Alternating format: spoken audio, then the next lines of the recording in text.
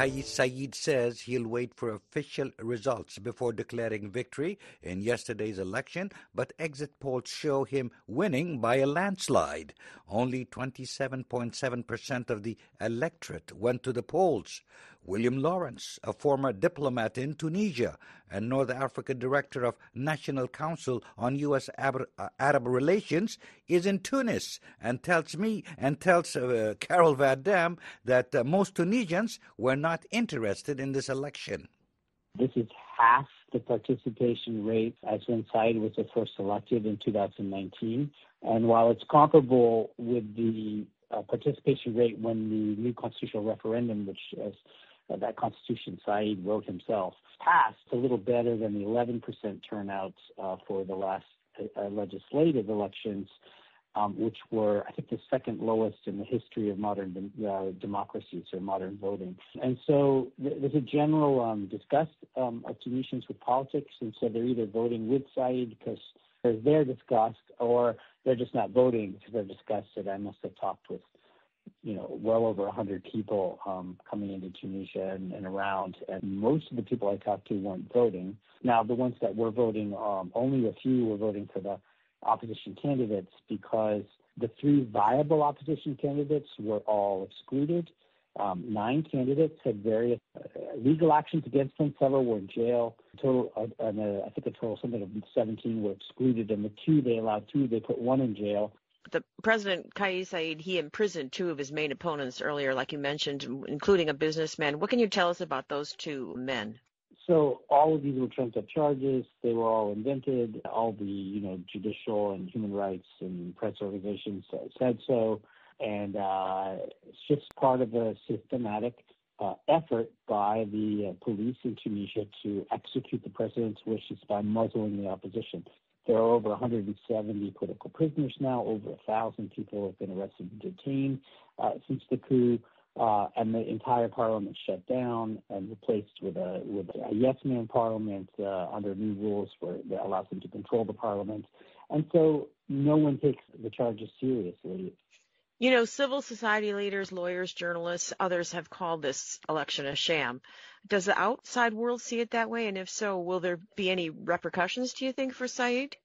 Those that pay attention do. Most don't pay attention. You know, Tunisia is rather inco- inconsequential in world affairs, uh, and that's a long descent from the Tunisia that won the Nobel Peace Prize in 2015 after the historic saving of democracy in the 2013-14 period, uh, becoming the only Arab democracy and the only very successful outcome of the Arab Spring.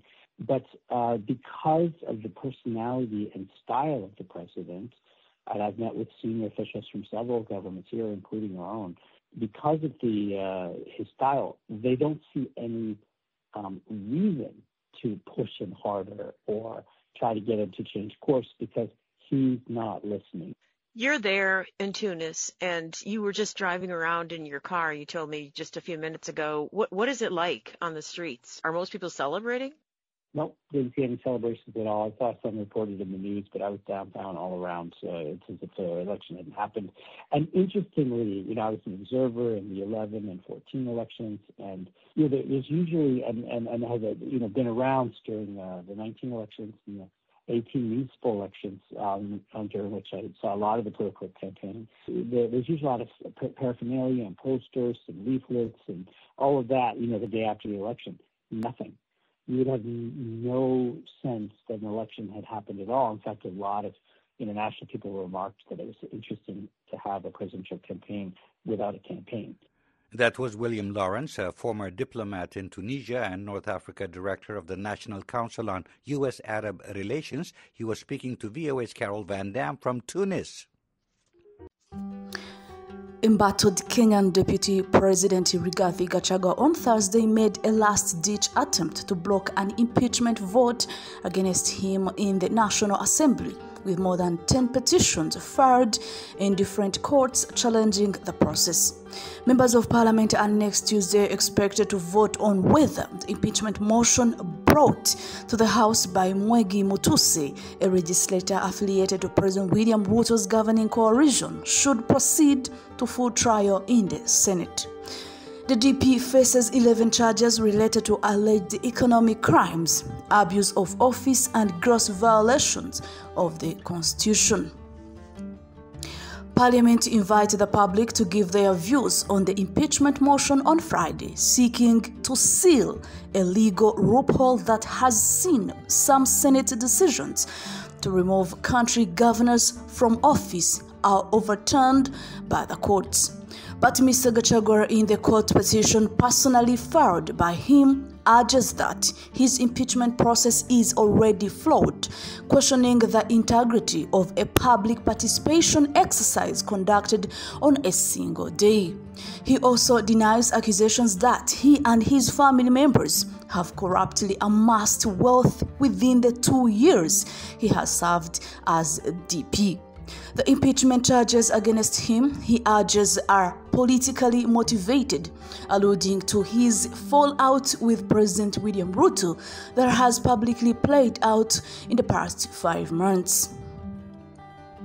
President Ruto has yet to publicly comment on the matter, but he is widely believed to have signaled his troops in parliament to proceed with a plan to oust his deputy in what is shaping up to be a do, a do or die battle between the two leaders.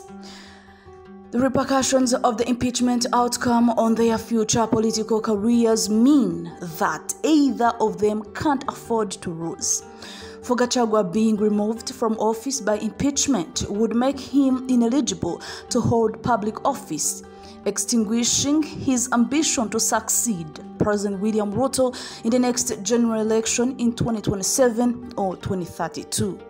Surviving the ouster bid would, however, mark a major personal victory for the DP, cementing his status as the political king of the populous Mount Kenya region and giving him a strong bargaining platform in future political alliances. While his critics see him as a polarizing figure, Mr. Gachagua's political star has been rising in the region, partly helped by his knack for amplifying grievances over perceived inequ- inequitable distribution of public resources. It is not uncommon for Kenyan politicians to ride a wave of grievance politics to power with the country's current President Ruto and his predecessor Uhuru Kenyatta being notable beneficiaries. The two leaders won the 2013 election with Mount with Mr. Kenyatta as presidential candidate and Dr. Ruto his running mate on the back of a campaign in which they were seen to exploit widespread resentment in their regional political strongholds towards those perceived to have been supportive